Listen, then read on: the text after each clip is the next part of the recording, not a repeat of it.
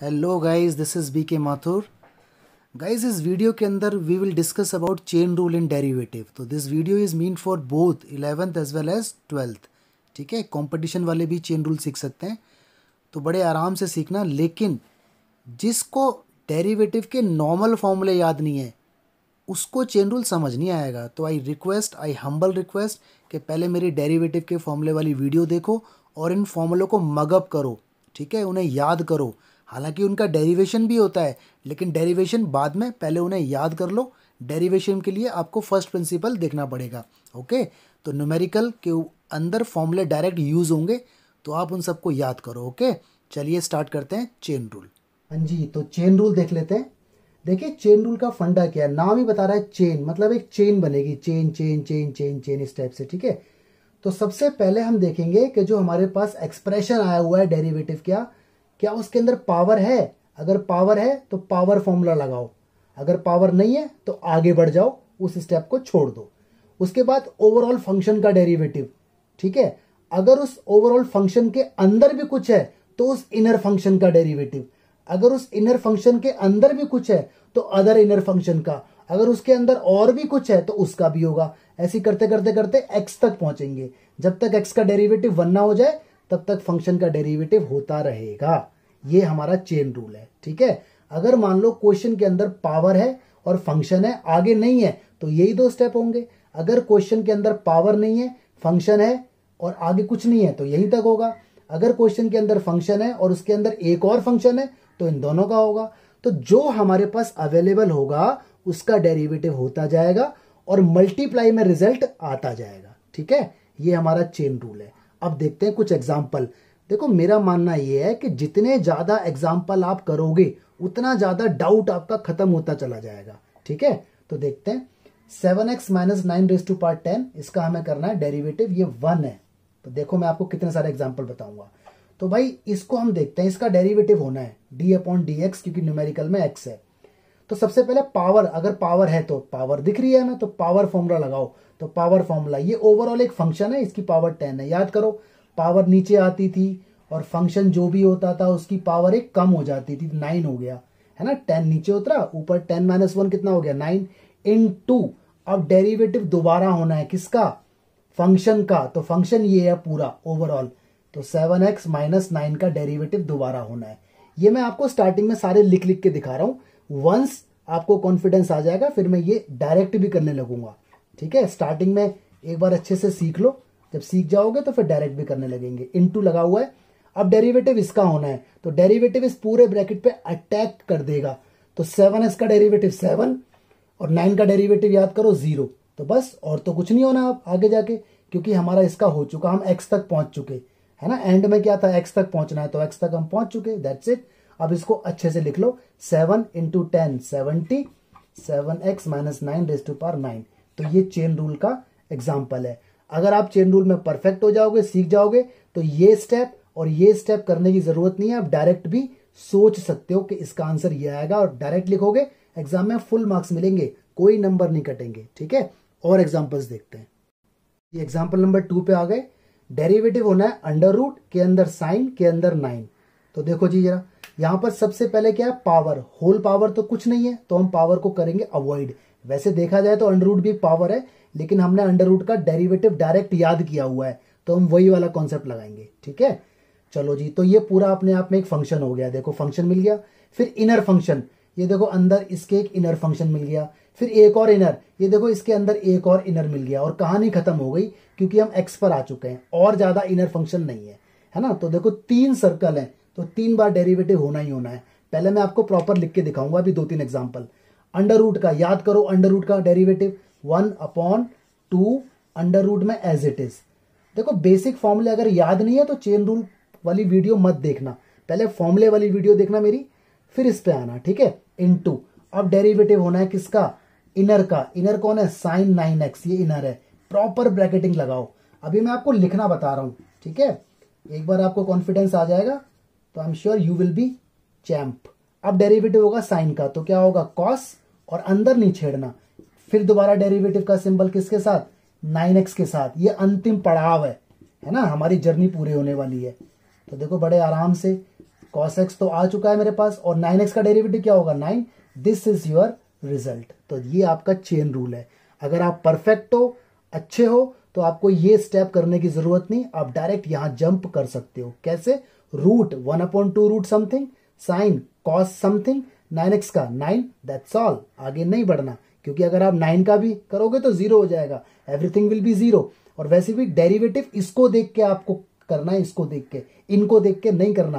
पहले रूट फिर साइन फिर नाइन एक्स ओके चलिए, और एग्ज़ाम्पल देखते हैं guys more example you explore more confidence you will gain in जी, एक और एग्ज़ाम्पल ठीक है? लॉग साइन एक्स क्यूब अगर मैं रेड पेन से आपको दिखाऊँ तो इसके अंदर कोई पावर नहीं है। आप बहुत से कह रहे होंगे, सर पावर तो है। अरे, वो अंदर है उसके। देखो, ये पूरा ओवरऑल एक फ़ंक्शन हो गया। लॉग ये इसका इनर फ़ंक्शन हो गया। साइन ये इसके भी अंदर फ़ंक्शन हो गया। तो यहाँ भी देखो, तीन तीन सर्कल है तो तीन बार डेरिवेटिव होगा। तो मैं प्रॉपर आपको पूरा लिख के दिखाऊँगा, ठीक है? चलिए जी लॉग का one upon sine x cube देखो बेसिक फॉर्मूला आपको याद होना चाहिए। मालूम है ना लॉग का डेरिवेटिव वन अपॉन तो लॉग के साथ जो भी होगा वन अपॉन मैं पूछू log India one upon India log you one upon you log Shona one upon Shona ठीक है? चलिए जी लॉग का हो गया। अब होगा डेरिवेटिव साइन का। तो मैं आपके सामने लिख के दिखा देता हूँ। Sine x cube all right ठीक है? वन अपॉन अभी डेरिवेटिव नहीं हुआ। नोटिस करना, एक बार में एक का डेरिवेटिव हो रहा है। पहले लॉग का हुआ है। इसको तो मैंने लिखा है बस खाली। ठीक है? डेरिवेटिव नहीं हुआ। अब मैं करूँगा डेरिवेटिव और जब डेरिवेटिव करना होता है तो डी अपॉन डी लगाते हैं। ये ऑपरेटर है डेरिवेटिव का। चलो जी साइन का करो। कॉस अंदर वाले को नहीं छेड़ना। और फिर ऑपरेटर आ जाएगा किसके साथ? अब की बार एक्स क्यूब के साथ। तो देखो, तीन बार, है ना? और अगले स्टेप में आपका आंसर आने वाला है। और आप चैंपियन बनने वाले हैं। हाँ जी एक्स क्यूब का थ्री एक्स स्क्वायर बस, अब किसका होना है? अब बचा अंदर एक्स एक्स का होगा भी तो क्या आएगा? वन क्योंकि एक्स का डेरिवेटिव वन होता है। तो दिस इज़ योर रिज़ल्ट अगर आप परफेक्ट है तो ये स्टेप करने की ज़रूरत नहीं। यहाँ भी आ सकते हैं। कैसे? लॉग वन अपॉन समथिंग जो भी साथ में था। साइन कॉस समथिंग जो भी साथ में था। फिर समथिंग का ये हो गया। ठीक है जी? चलिए, और देखते हैं। हाँ जी नेक्स्ट आ गया फोर्थ देखिए, इसे मैं आपके सामने करूँगा डायरेक्ट ध्यान से देखो, ये पूरा अपने आप में एक फ़ंक्शन है टेन इसका ये पूरा थीटा है। फिर सेक फ़ंक्शन है, इसका थीटा ये अंडर है। फिर लॉग है लॉग का थीटा कॉस है। फिर कॉस है कॉस के अंदर नाइन है। तो इतनी बार होगा डेरिवेटिव अगर आपको बेसिक फॉर्मूले याद नहीं है तो प्लीज़ इस वीडियो को यहाँ पॉज कर दें। पहले फॉर्मूले देखें, फिर इसको देखें।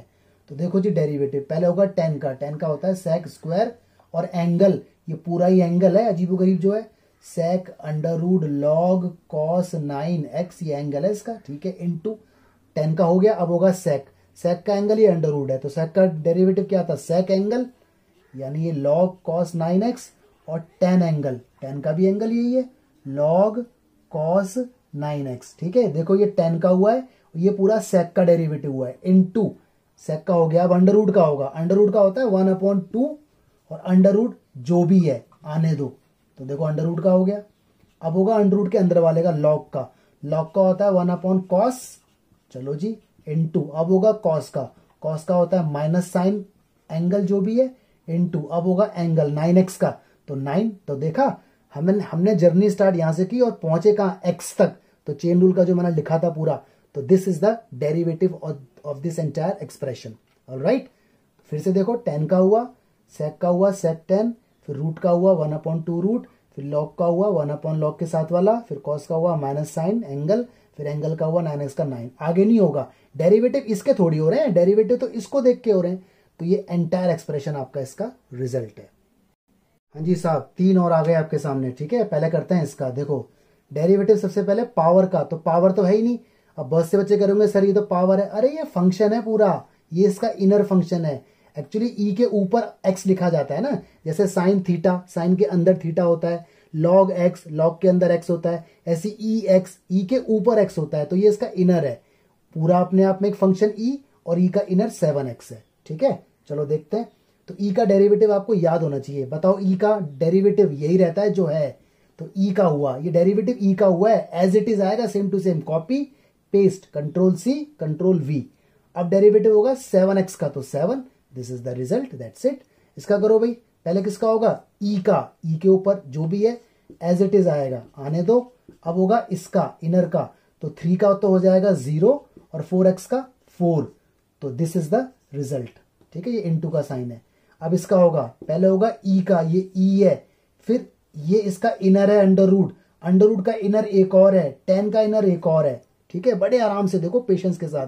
ई e का तो यही रहेगा। तो ई e तो एक तरह से आलू है, कोई फ़र्क नहीं पड़ता।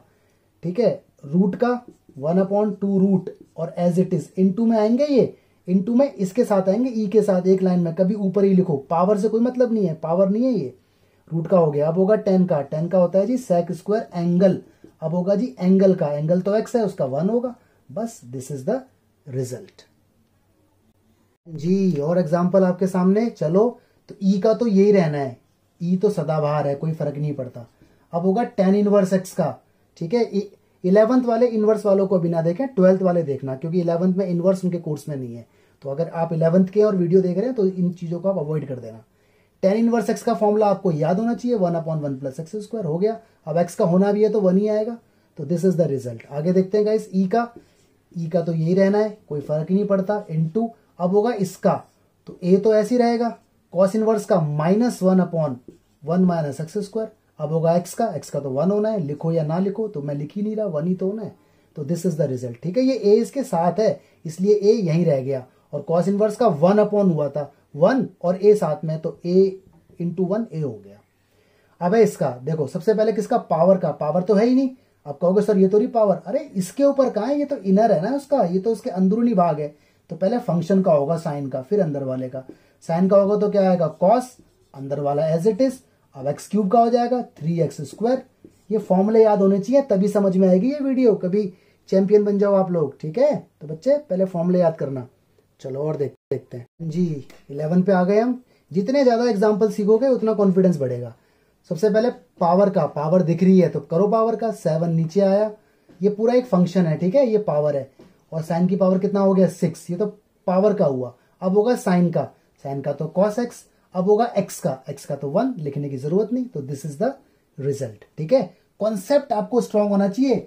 देखो कॉन्सेप्ट लिमिटेड होते हैं क्वेश्चन अनलिमिटेड होते हैं। कॉन्सेप्ट पे काम पकड़ोगे तो क्वेश्चन तो कहीं से भी आने दो, हो जाएगा। आगे देखो पावर का पावर इसके ऊपर है। तो टू साइन की पावर क्या बची? वन वन लिखने की ज़रूरत नहीं, लिख भी दूँगा तो क्या है? लेकिन ऑकवर्ड लगता है तो लिखते नहीं है। इन टू अब किसका होगा? साइन का, ये साइन है। पहले पावर का हुआ है भाई टू आगे आया, ऊपर वन अब साइन एक्स का होगा तो कॉस एक्स आएगा, ये रहा। अब किसका होगा? एक्स का। एक्स का होगा तो वन लिखने की ज़रूरत नहीं। तो कुछ टीचर इसको साइन टू एक्स भी बोल देते हैं। क्यों? याद करो formula trigonometry two sine theta cos theta is equal to sine two theta तो इसको डायरेक्ट ये भी लिखा जाता है। तो कैसे? आप यहाँ से देख लेना। ठीक है जी? आगे आ जाओ। फिर पहले पावर का। पावर ये है। फिर फ़ंक्शन ये फ़ंक्शन है साइन फिर ये इसका इनर फ़ंक्शन है। तो करो थ्री का। थ्री साइन की power two x cube as it is in two अब साइन का होगा। Cos angle as it is in two अब एंगल का होगा। Four x three this is the result okay और देखते हैं। और एग्ज़ाम्पल आपके सामने। More example you do more confidence you will get derivative पहले पावर का। देखो ये पावर है। तो पावर आगे आएगी फाइव बाई थ्री ये पूरा फ़ंक्शन है। इसे बेस भी कहते हैं कुछ टीचर हर टीचर का अपना अलग तरीका है। ऑल टीचर आर बेस्ट ठीक है? स्टूडेंट के ऊपर बात होती है कि वो अपनी मेहनत करता है या नहीं करता है। तो फाइव बाई थ्री आगे आ गया। इसमें से वन लेस करो भाई। Five by three minus one इस तरह से, ठीक है? डायरेक्ट लिख दू? Five by three minus one LCM लो देखो, कितना आएगा? Two by three in two अब किसका होगा? इनर फ़ंक्शन का, ये जो अंदर है, ठीक है? या फ़ंक्शन बोल दो इसे। इसे पावर बोल रहे हो तो इसे फ़ंक्शन बोल दो। एक्स क्यूब का three x square two x का टू नाइन का zero this is the result. एक और देखो गाइस ये रहा, इसमें पावर तो नहीं है। अंडरवुड है। अंडरवुड में पावर होती है, अगर आप चाहो तो इसको ऐसे भी कर सकते हो।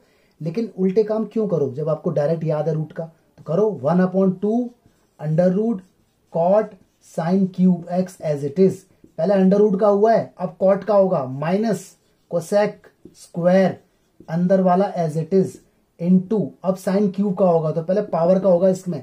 थ्री साइन स्क्वायर एक्स अब साइन का होगा कॉस एक्स अब एक्स का होगा one this is the result ठीक है? आई होप आपको समझ में आए होंगे। अब मैं आपके लिए पाँच क्वेश्चन छोड़ के जा रहा हूँ और इनका आंसर आप कमेंट में डालना ज़रूर, ठीक है? गाइज़ ये पाँच क्वेश्चन आपको अपनी कॉपी के अंदर करना है। ट्राई करो, ठीक है? आई होप आपको चेन रूल समझ में आया होगा। Thank you thank you so much God bless you